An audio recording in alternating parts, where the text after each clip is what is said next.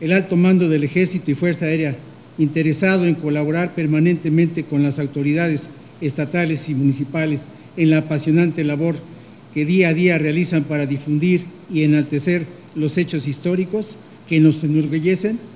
hacen la donación de estos uniformes históricos al Museo Interactivo de la Batalla del 5 de mayo. Sabemos que esta institución, bajo la dirección de la ingeniero Rosabelia Sandoval Ramírez, realiza una gran aportación a la historia militar de tan significativa fecha, difundiéndola a nivel nacional e internacional y los uniformes que hoy se donan contribuyen a tan importante labor.